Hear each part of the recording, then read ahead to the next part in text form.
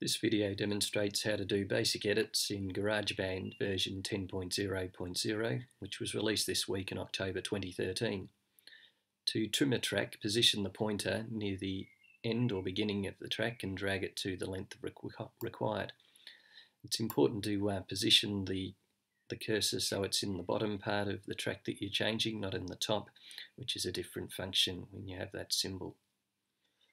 Um, notice when I'm dragging it around, it's tending to jump from one position to another, indicating that I've got the grid uh, on. If I want to turn the grid off, I press Command G, that's G for golf, Command G, and so now I've switched that grid off and I can adjust it to uh, any, any size that I want.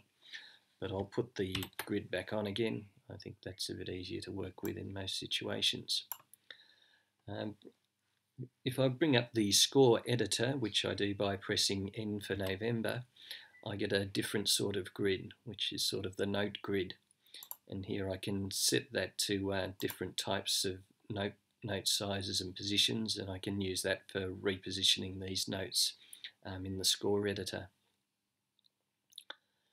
Uh, to do zooming, I press uh, Command uh, right arrow to uh, zoom in there. Command left arrow to uh, zoom out. Now within the score editor I, uh, I have to use this uh, device on the right to do my scoring.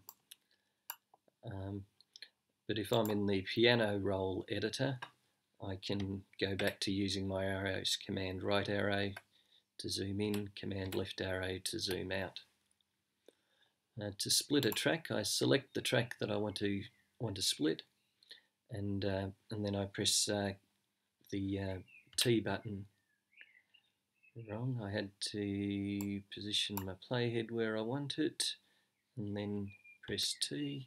Doesn't seem to work. I think it might be because I've got arrangement showing. Let's get rid of that.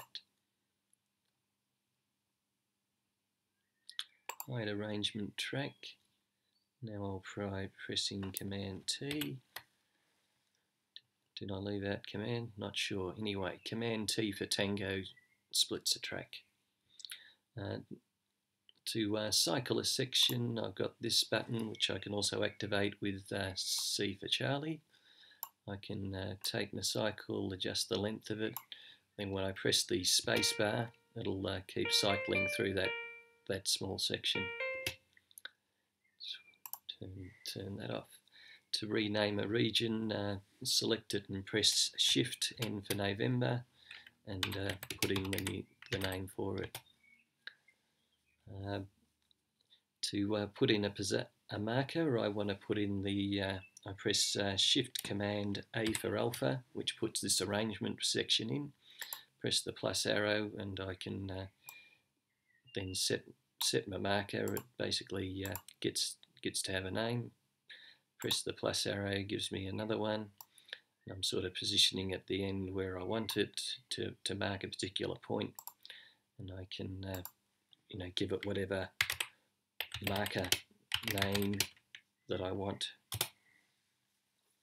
Um, to join selected regions, uh, select the, the regions, shift click on the second one and then uh, press Command J for Juliet in order to, to join them, and I think that works for notes as well. Uh, to do a crossfade, my understanding of a crossfade is that I want to gradually decrease the volume and then gradually increase the volume. Uh, so to uh, bring that about, I'm going to uh, click on this part. It's adjusting volume. Click on the new line that's appeared till it becomes brighter and position, click on it to uh, get my dots. And then I can have a particular region uh, stop. So that's my quick demonstration of the basic edits in GarageBand.